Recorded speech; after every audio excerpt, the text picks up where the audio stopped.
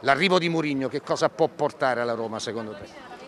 Eh, tantissima cosa, a parte che è un vincente, è un grande allenatore del mondo del calcio, è uno a livello comunicazione, la, la leadership, quindi sicuramente eh, svegliare tutti i giocatori di quest'anno che io ritengo grandissimi giocatori, che non siamo da, da settimo posto e, e quindi sicuramente fa ritrovare a tutto l'ambiente, sicuramente Bonigno chiederà pure, penso, due o tre giocatori, quindi c'è da divertire. E abbiamo eh, con Mourinho la Roma è ritornato una, una, società ancora più importante, quindi sono molto contento di Mourinho. Anche perché sono passati vent'anni dall'ultimo scudetto.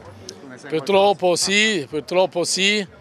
Eh, ci vuole, io ci credo nel progetto Mourinho, quindi eh, spero per, per, tutti, per la città, per i tifosi, per gli stessi giocatori che, che, che si, si, si, ritorna a festeggiare. Ultimissima Vincenzo, un pensiero anche per eh, il mister, il maestro per me, Zdenek Zeman che ha appena compiuto 74 anni.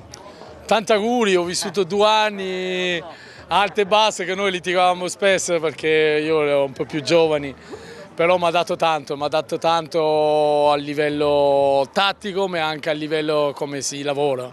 È un grande lavoratore, un, un grande maestro di calcio, quindi anche se ho litigato più di una volta, ah, sì? ma sì, ma perché ero giovani, però lo ritengo, fa parte dell'allenatore che, che, che, mi ricordo con, con, con grande affetto. Ma c'hai un aneddoto da raccontare simpatico? Sì, anche. simpatico eh? sì, allora appena è arrivato io non lo conoscevo, fumavo tantissimo giustamente, eravamo in piscina con Di Biagio e Totti e lui eh, ci, ci, chiede la scommesso che fa due volte sotto l'acqua la piscina, io ho fumato così, ho accettato, non sapendo che lui era comunque un grande nuotatore. E quindi subito arrivato mi ha fregato le 50 euro per scherzare, però è stato molto piacevole e divertente perché un mister che con noi stava, si divertiva anche con noi.